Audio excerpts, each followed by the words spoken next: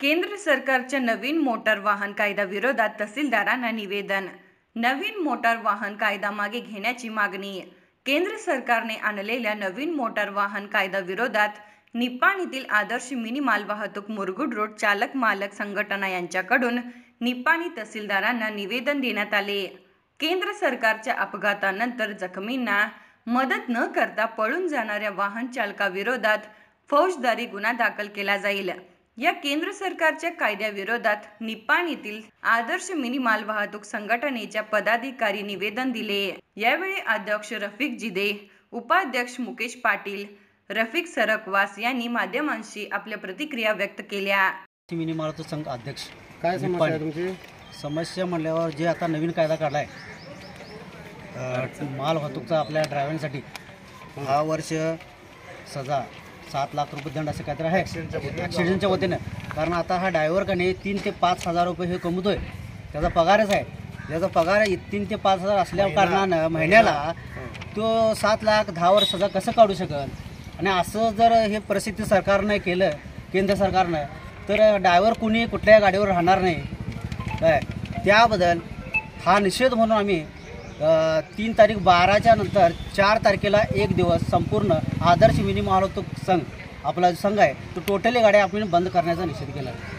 बंद करणार आहे आणि सरकारच्या वतीने आम्ही निषेध करत आहोत की हा कायदा सर्वसामान्यांना लादणारा नसून सर सर तिने मागे घेण्यात यावा असं बोलून मी माझं भाषण ड्रायव्हर टेम्पो स्टेशन.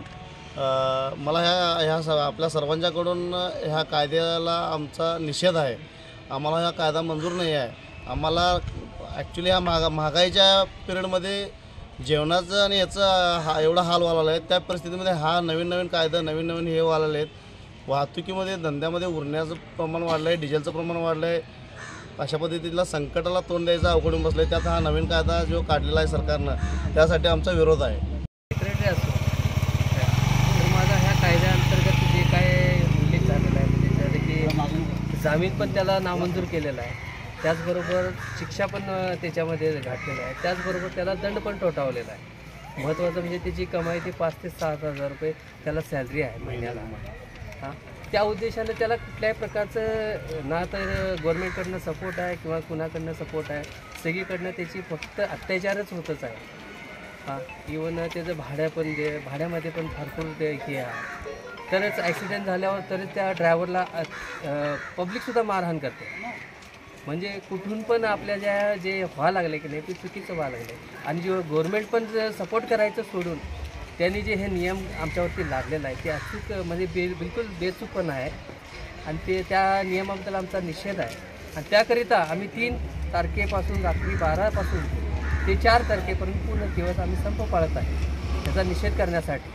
आणि त्या संपासाठी आम्ही इथं तहसीलदार ऑफिसला जे निवेदन दिलेलं आहे ते गव्हर्नमेंटनं आमच्याकडनं निवेदन स्वीकार करून आमच्याकडं ते लक्षपूर्वक त्याची कारवाई व्हावी हीच आमची अपेक्षा आहे. बाकी. या संपाला कोण कोण सपोर्ट करणार आहे तुम्हाला? त्या पंपाला पूर्ण संपाला पूर्णतः म्हणजे ड्रायव्हर लोक आहेत.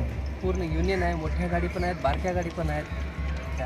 अशा बऱ्याच गोष्टी म्हणजे आता आता तुम्ही पण आता हायवे पण बंद व्हायला लागला याची पण तुम्हाला दक्षता पण असेलच. तर ही आणि ही जी हाक आहे ती आम्ही गव्हर्नमेंटपर्यंत पोहोचवण्याचा प्रयत्न करत आहोत. बस एवढेच बोलायचं आहे यावेळी अध्यक्ष रफिक जिदे उपाध्यक्ष मुकेश पाटील खजिनदार रफिक सरकवास सेक्रेटरी सुमित विटेकरी सल्लागार चंद्रकांत परीठ सभासद महेश गायकवाड मनोहर महाकवे प्रफुल्ल कांबळे महेंद्र माने केदार वागळे संदीप माने सुनील खोत संदीप शिंदे रामा खांबे सुनील सावरकर अविनाश कारंडे सिद्धू मादारे पिंटू कुटाळे सय्यद पटेल संदीप नाईक सागर पाटील राजाराम कमते बबलू गायकवाड महेश सौंदी आदी उपस्थित होते.